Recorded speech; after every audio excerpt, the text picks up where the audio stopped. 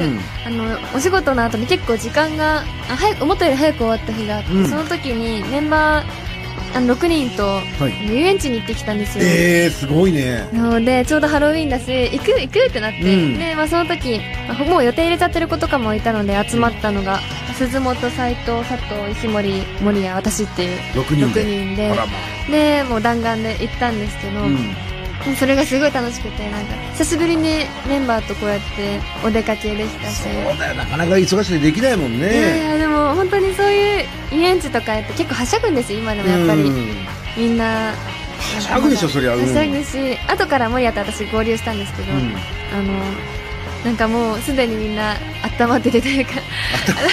でいや肩が温まってたもう。温まっててもう一度あーみたいな。イエーイみたいな感じなんだ。みたいなすごくていごいそれで森谷さんやそれ違うそれは斎藤とかうであのみんなで、まあ、これ食べたいからでも食べたいものも結構違うから、まあ、三々とかに分かれて途中行ったりとか、んうんあと結構一番怖いアトラクションに乗りたくて、うんでも2人ダメで佐藤と石森がどうしても絶叫に乗れないって言ってギリギリまで乗せようとしてたんですよよく絶叫が苦手で遊園地行くね。やっぱ雰囲気も楽しいから。ああそうなんだ。そう。で乗せようと頑張ったんですよ結構。でもやっぱり難しいって言って。で結局4人で乗ったんですけどそれ断以外の念するん書いてましたよね。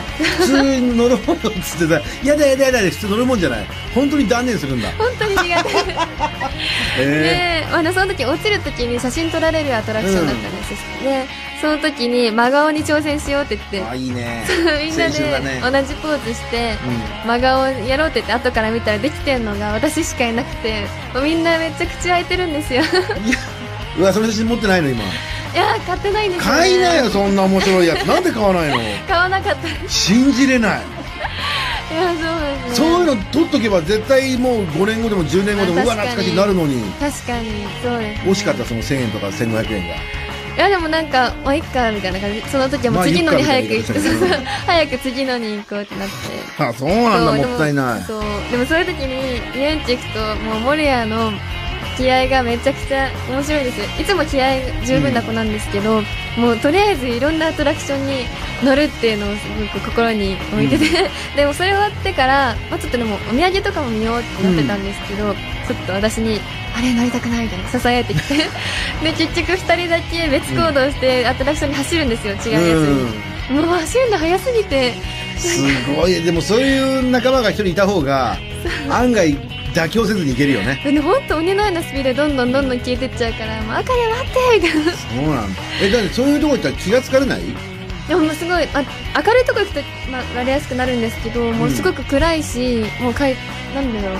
全然まだまだなんで大丈夫です。あ本当に？はい。あでも楽しく過ごせたんだ。もうすごい楽しくて、うん。もういい思い出で話も尽きなくて並んでる時とかもずーっとグループの話してるんですよ。あすごいね。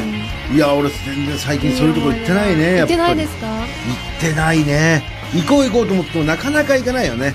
一人でね。あんまり行くもんじゃないじゃんまあそうですでね誰かと一緒に行こうと思ってもさ二人っきりで行くのも違うなと思うしなんかめなんか何何人かで行こうと思ってもさそうそうすると今度集まんなかったりするもんね。ね。これ難しいとこだよね。そうなんですよ。相方さんとかその全員 そうかもう40のやつさ4人3人で。3人で。次あれ乗りたいとか。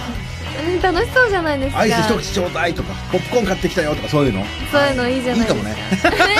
絶対嫌だよそんなのねえ当日そういうもうもんなんですかね。風邪ひいたって千白よ俺本当に。ストレスで。今日のストレスで。倒れちゃったんです。まあまあそういう楽しみもみんな今のうちしかできないからね。ぜひともやってほしいね